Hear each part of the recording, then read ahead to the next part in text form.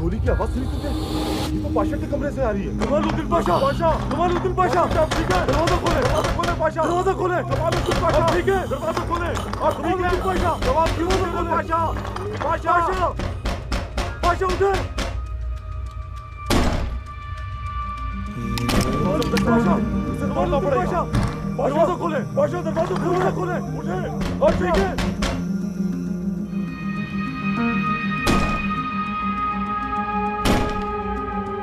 अब हमें कोई जुदा नहीं कर सकता।